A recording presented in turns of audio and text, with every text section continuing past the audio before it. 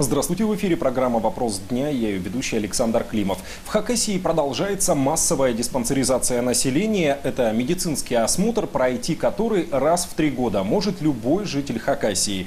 Что для этого необходимо и какие заболевания чаще всего выявляются в ходе таких осмотров, об этом мы поговорим с исполняющей обязанности заведующей отделением медпрофилактики Натальей Павленко. Наталья Сергеевна, здравствуйте. Здравствуйте.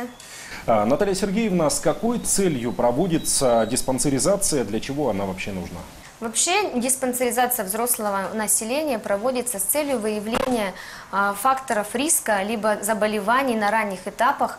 И, и факторы риска, как я еще раз повторюсь, те, которые способны вызвать те или иные заболевания, приводящие к ранней смертности населения, либо инвалидизации и онкопатологии. А чем отличается диспансеризация от э, медосмотров, которые ну, проводились, в принципе, и раньше? Ну, это маленько разные приказы. Ме- Медосмотр проводится в целях, ну, для чего? Для того, чтобы устроиться на работу, то есть либо какие-то профпоказания. Здесь же раннее выявление онкопатологии, как я уже и говорила. То есть, чтобы на ранних этап- этапах определить то или иное заболевание, принять своевременное ле- лечение какое-то, да, и чтобы как бы прод- продлить жизнь и качество каждого человека. А с какого возраста жители проходят диспансеризацию и кто вообще может ее пройти? Вообще пройти диспансеризацию может любой житель города Абакана, ну и не только Абакана, то есть в каждом населенном пункте может любой человек пройти диспансеризацию. Проводится, мы говорим про взрослое население, это а, с 21 года. То есть дети, они проходят а, на участках у педиатров, а взрослые здесь у нас. Насколько я знаю, диспансеризация проводится раз в три года. То есть человек каждые три года может ее пройти. А как узнать о том, что именно в этом году, именно сейчас он может пройти диспансеризацию? Скажу такую маленькую ремарочку или оговорочку. Раз в три года, и сейчас у нас появилась диспансеризация раз в два года. Вот эта, которая раз в два года, она направлена на выявление онкопатологии кишечника и молочной железы. То, что раз в три года, тут уже более обширный, да, и узнать может человек а, от- от- о годах, которые подходят к этой диспансеризации, это либо на сайте Минздрава, то есть у нас официальный есть сайт, это в любых средствах массовых информации. Мы постоянно даем информацию в газетах, то есть, пожалуйста, можно читать. А, На, на стендах в поликлинике, либо в больницах, то есть мы ст- стараемся по максимуму известить людей, что вот конкретные года, они подходят под диспансеризацию. Либо можно позвонить в колл-центр, там тоже вам об этом расскажут. А, Многие люди не спешат посещать поликлиники, потому что попасть на прием э, к каким-то специалистам проблематично, и это занимает очень много времени. А есть ли какие-то специальные кабинеты, где ведется прием только э, как раз пациентов, пришедших на диспансеризацию? Вот, как раз таки это самый хороший такой во- во- вопрос, как говорится, на злобу дня, потому что а, Значит, а, у нас в отделении профилактики своя отдельная регистратура. Пациенту не нужно ходить к терапевту участковому. То есть он приходит сразу к нам, это 254 кабинет, а, обращается, при себе имеет паспорт и полюс медицинский. Тут его оформляют, все дают необходимую документацию, все обследования, то есть то, что ему положено, согласно его возрасту.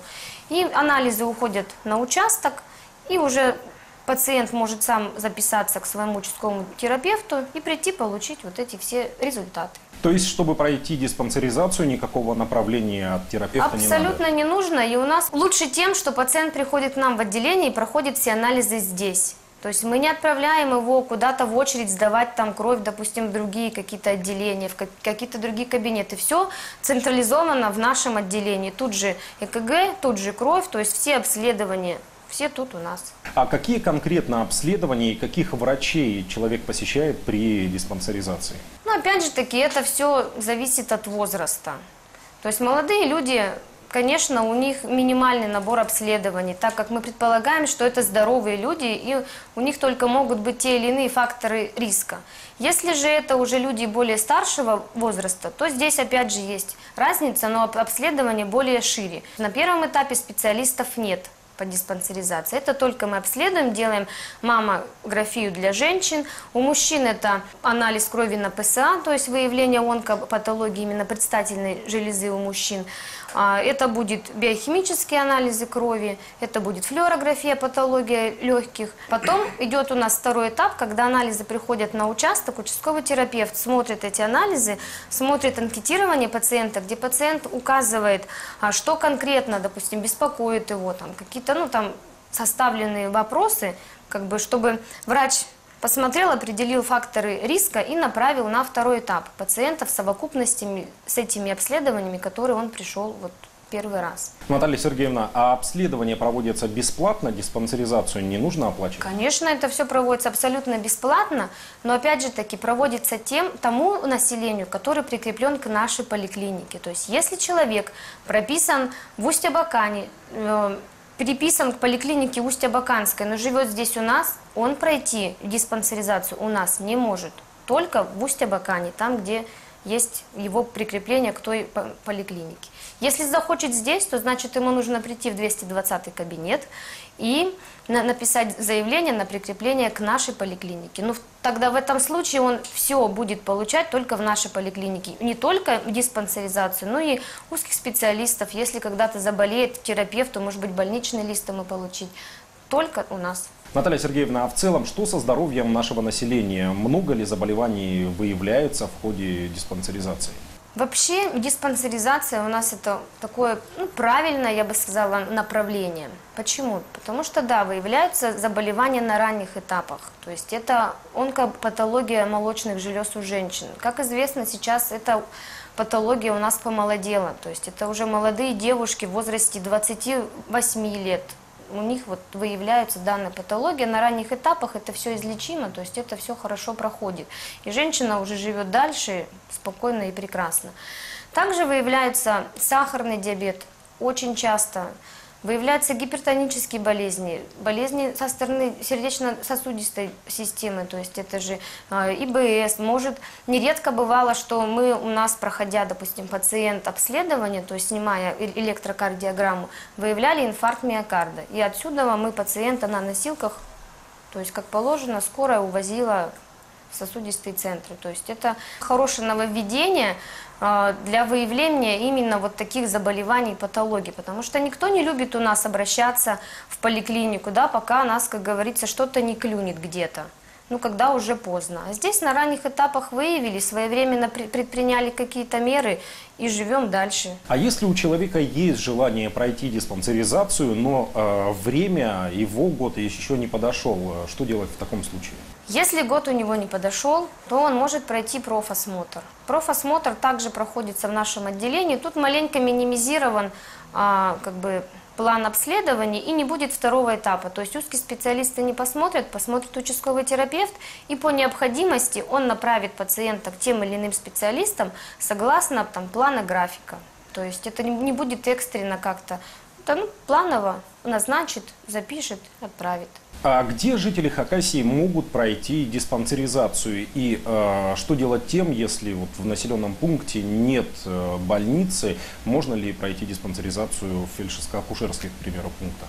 Конечно, в фельдшерско-акушерских пунктах у них там есть фельдшера, которые проводят эту диспансеризацию. Если же э, нет на ФАПах, либо есть населенный пункт, в котором нету ФАПа, да, то тогда пациент едет куда? В районный центр. Там точно так же есть организованные эти кабинеты медицинской профилактики, либо отделение медицинской профилактики, как у нас. То есть это же федерального уровня приказ да, и закон, то есть о прохождении диспансеризации, поэтому это есть везде. Я также слышал, что э, работодатели должны предоставлять э, работникам день, когда они проходят диспансеризацию. Это действительно так? Законом это не прописано. У нас нет, ну, либо на усмотрение работодателей, то есть, да, у нас есть такие, организованная организация проходит, работодатель выделяет один день, и они проходят диспансеризацию, то есть день этот оплачиваемый. Наталья Сергеевна, а в целом, как наше население относится к диспансеризации? Охотно идут или Ну, здесь я бы сказала 50 на 50. Возможно, это в силу недопонимания, для чего это нужно. возможно, может быть, необразованности какой-то. У нас же многие говорят, ой, я не пойду в эту больницу, поэтому ему не важно, диспансеризация это или профосмотр, или еще что-то.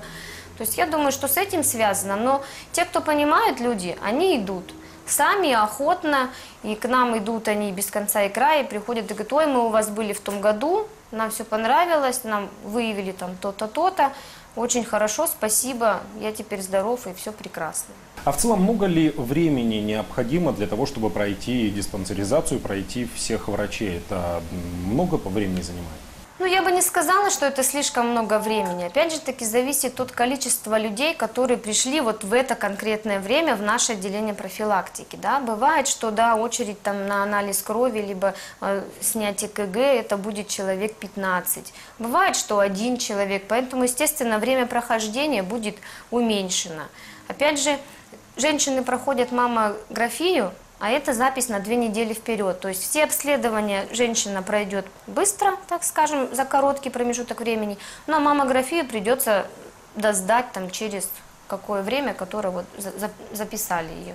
Наталья Сергеевна, а из опыта приходят ли на диспансеризацию организованные коллективы, к примеру, вот весь коллектив какого-то предприятия пришли пройти обследование? Конечно, это мы даже практикуем такую диспансеризацию, то есть мы договариваемся с предприятием, да, то есть та или иная организация, звонят нам, говорят, мы бы хотели пройти организованно. То есть, чтобы не было толкучки, да, там, или столпотворения у нас в профилактике, чтобы это не были не только организация, но и простое население. Мы организуем график, согласовываем время, когда придет эта организация, количество человек, чтобы это все было плавно, размеренно. Люди также пришли организованно, все прошли и ушли.